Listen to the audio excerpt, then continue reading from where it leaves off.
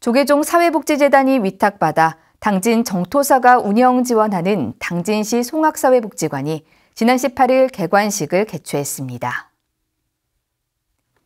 지하 1층, 지상 2층 규모로 102억으로 건립된 송악사회복지관은 지난해 12월 조계종 사회복지재단이 위탁 운영법인으로 선정돼 올해 1월부터 운영하고 있지만 코로나19로 이날 개관식을 열었습니다.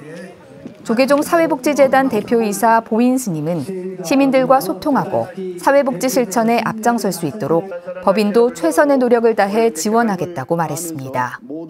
시설장협의회 회장 법일 스님, 복지법인 수덕 대표 주경 스님, 정토사 주지 선호 스님, 김홍장 당진시장 등이 참석해 개관을 축하했습니다.